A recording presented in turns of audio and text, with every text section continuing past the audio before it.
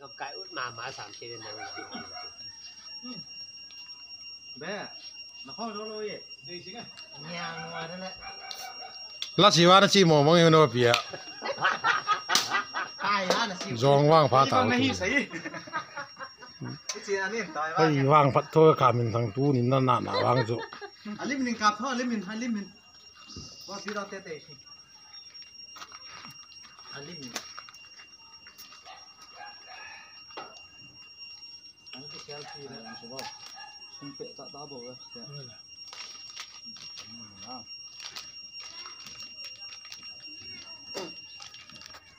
Am sih boh.